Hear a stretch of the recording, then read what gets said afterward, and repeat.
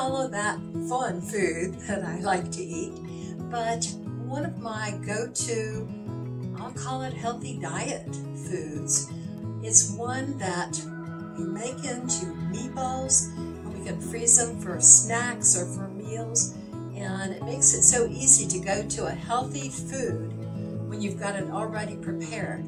So what we're doing today is preparing enough food for several meals or several snacks. And the serving size will be like one inch turkey meatballs, and they're vegetable turkey meatballs. And the, the one serving size is 12 of those meatballs, and it's only 110 calories. So these really are a healthy food, and if you're on a diet, uh, especially a keto type diet, these will really work well for you. So let me start showing you how to make this healthy turkey meatballs. Let's start by chopping up our fresh vegetables. And I'm, I've brought out a big bowl. See it there, a big bowl. And I'm going to put those vegetables into that bowl as I chop them. The first I'm going to work on is my celery. Okay, I want a half a cup of very finely chopped celery. And a food processor might do a better job of this, but let's give it a try this way first and see how we do.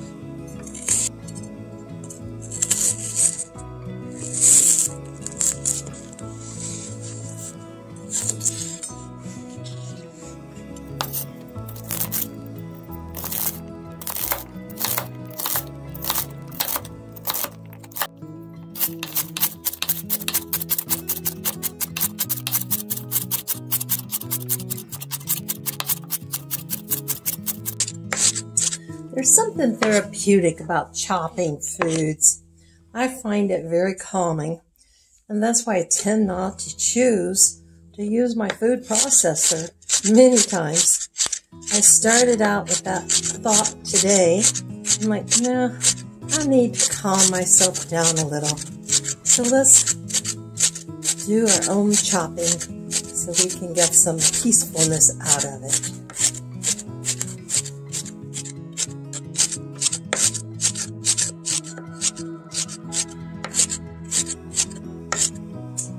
So there we have it. Finely chopped or minced. And that's a little more than a half a cup, but I'm going to let it be okay. now let's work on our peppers. I'm using a poblano pepper. It has a little more flavor. Um, actually, I don't need to, but it has a little more flavor, a little kick to it than a bell pepper. But you can choose to use a bell pepper if you prefer.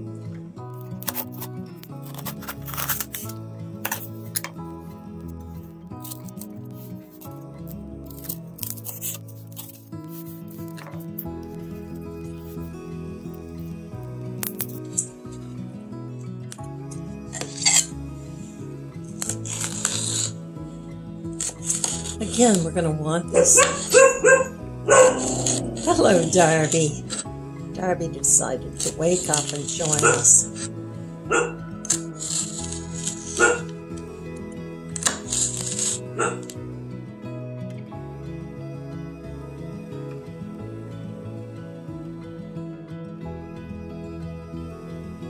Okay, let's finally chop these like we did our celery.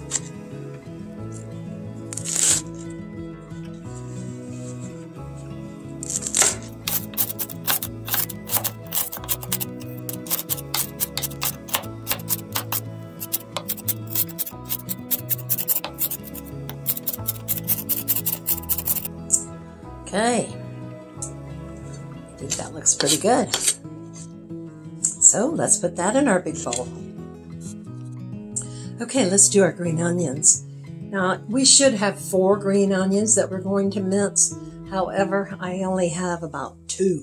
So my meatballs aren't going to be as good as yours. But let's go through the process of mincing these green onions.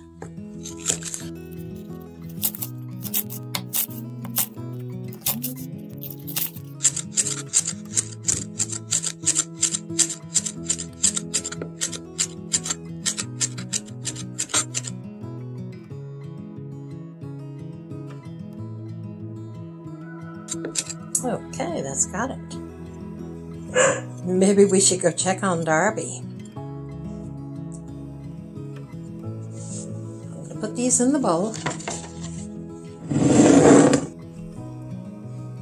Darby, is everything okay?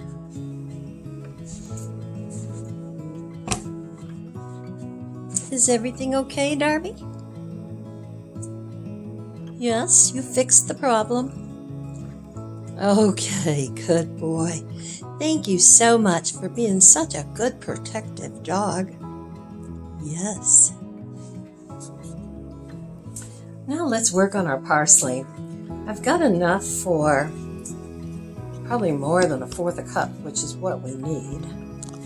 So I am not going to use the stems in this case for the most part. I'm just going to use the leaves. Those out of the picture. And let's mince up this parsley.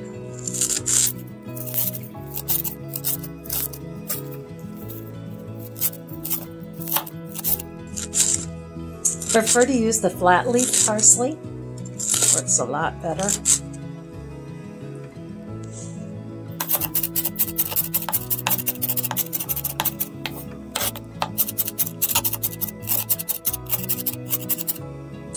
As I've said earlier, we could be using a food processor to do this.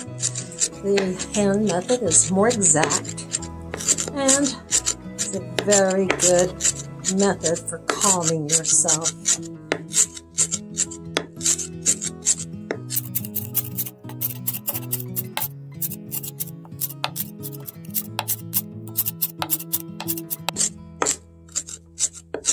Okay, our parsley is ready. Let's put that in our big bowl. Now it's time to cut on our spinach. We want four cups of fresh spinach. Uh, you can get the baby spinach. And let's start our chopping process on that. Again, you could use a food processor.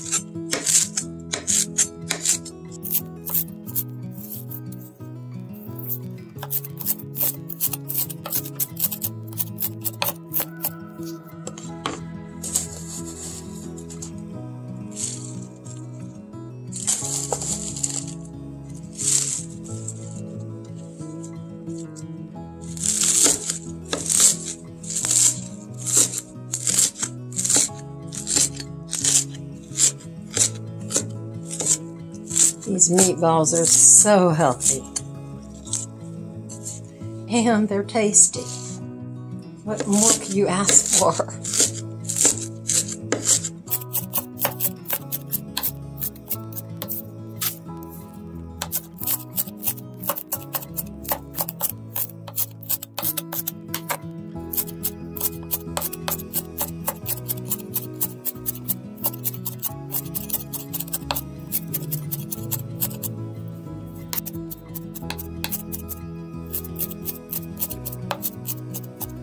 Okay, that's got it. Let's put our spinach into our big bowl. Okay, so I've got my big bowl of our healthy parsley, spinach, green onions, celery, and poblano peppers. And next what we're going to do is put a half a cup of freshly grated Parmesan cheese. Now I always use freshly grated because when you buy the pre-grated, they put some preservatives in them, and I prefer to avoid the preservatives. And next we want some mild green chilies that have been chopped and have been drained. I've got two four ounce cans.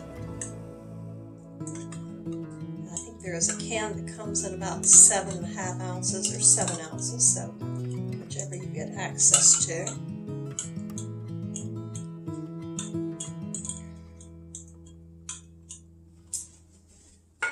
My second can.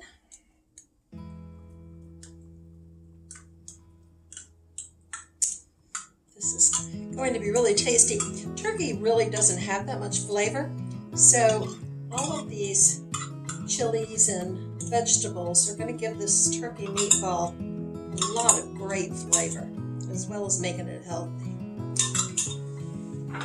Okay, I want to move my bowl aside and I have some beans. Whoops, they're jumping beans. anyway, um, I took about a half a can, actually a little more than a half a can of um, mixed beans. I've got pinto, kidney beans, and what are these other beans? Black beans, I guess, yes. And so what I'm going to do is I'm just going to take a potato masher and mash these up. If you'll notice, we have not put any gluten into our recipe. So this is gluten-free, which will make some folks very happy.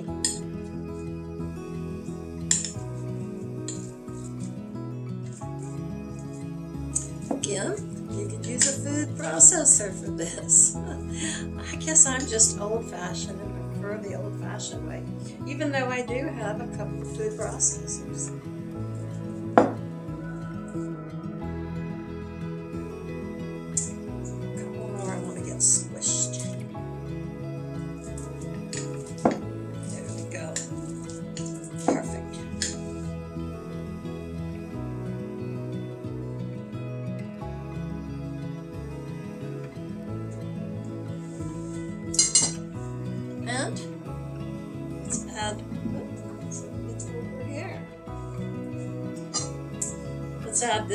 Big bowl.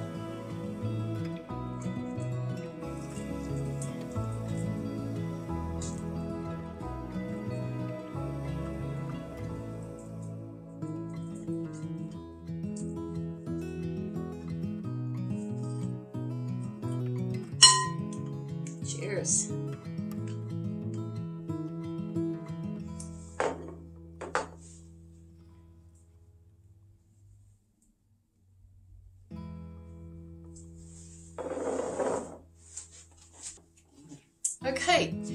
What we want to do is take tomato paste and add about three tablespoons of tomato paste.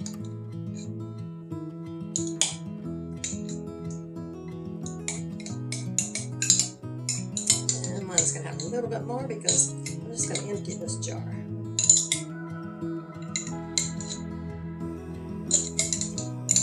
Tell why I never bake anything because I'm not scientific just kind of wing it.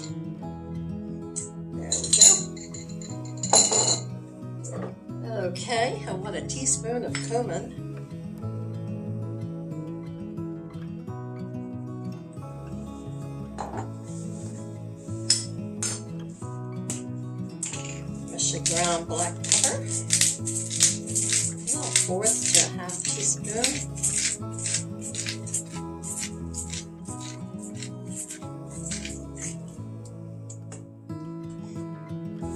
Salt, about half a teaspoon.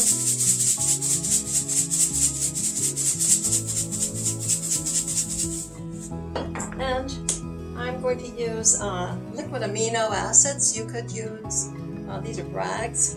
You could use soy sauce. This is a replacement for soy sauce. And let's see, let's put two tablespoons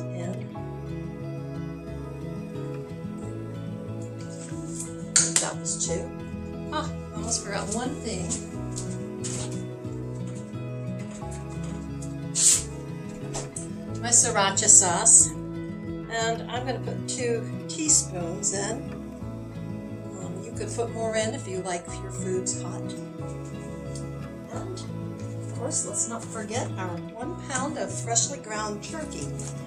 Now, the turkey I'm using is 93% lean. So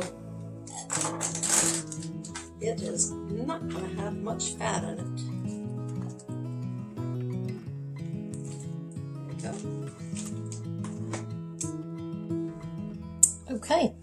Let's stir this up. So we've got all of our ingredients in.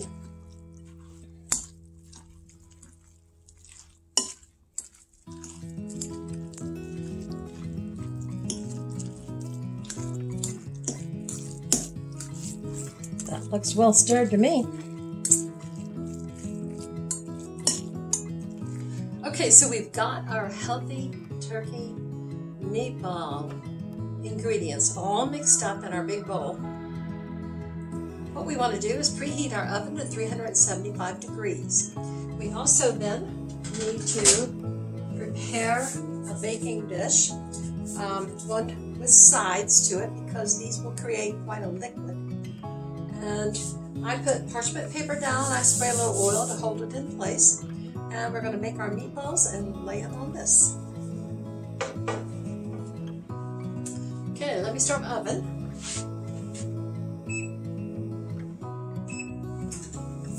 I don't know if it's me or the oven, but we weren't getting anywhere. Okay, so my hands are clean, and I'm going to just dip them in here and make up little meatballs. Oh, one of the things that's a helpful hint is to wet your hand before doing this, but I didn't. And so I'm just going to make into meatballs Actually, I want these to turn out to be about an inch once they're cooked. So let's make them a little larger than an inch.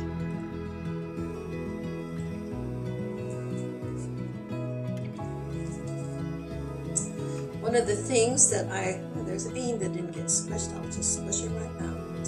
One of the things that um, I like to do is the juices that are produced from meatballs is I pour that off and save it as a broth for later use.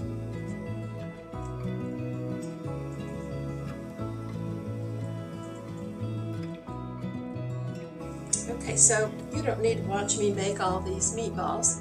So why don't you go and do something fun while I work at this and I'll get back to you. Okay, so I've got the meatballs all ready and they're ready to go into the oven. So let's put these in the oven. We'll check them at 25 minutes. Um, you might want to use a temperature gauge to see if they've reached 165 degrees in the center. But uh, 25 to 35 minutes, they should be uh, cooked well. And there might, might be a lot of juices. Uh, you might want to check in between so you can pour off some of those juices. But like I said before, save those juices and use them as a broth. Okay, let's put them in the oven.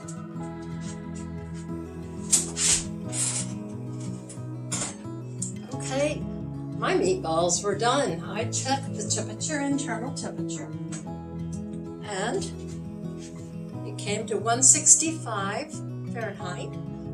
And and so I did check the internal temperature. One thing I'm sorry I forgot to do was to tell you to turn these over midway. So that would have been about 15 minutes or so. I did not turn mine over. I didn't even think about it. So mine are a little flat-sided, so they're not round meatballs, but there's no harm done. They just don't look like round meatballs. So what you want to do is let them cool and if you're planning on using them tonight, go on and use them while they're warm. I do plan on using mine tonight. I've fixed me a nice green salad, and I am going to put me a couple of these on top. Make my salad complete. The other thing is I ended up making my meatballs a little big. So a serving size is probably going to be more like six. I'm going to have five on my salad. And I've got romaine lettuce. Um, let's see, what else do I have in here? Radishes, cucumbers, celery, and sugar snap peas, yes. And I'm going to put some feta cheese on there. Oh, let me hold up, I want to put a dressing on first. I made me a mustard vinaigrette dressing with olive oil, white wine vinegar, garlic powder, mustard, put fennel seeds in and oregano. I just kind of create as I go. And so let's put some of that on. My dinner's going to be yummy tonight. And now then let's put our feta cheese on top. Okay, so the other thing I want to tell you about is I use these Snapware storage containers. You might have seen me using them just when I cut up ingredients and set them aside. But um, these are so nice because they seal and you have no spills if you're storing a liquid. Um, they are BPA free and you can put them in the freezer, you can put them in the microwave, you can put them in the oven, not the lids, but um, a dishwasher.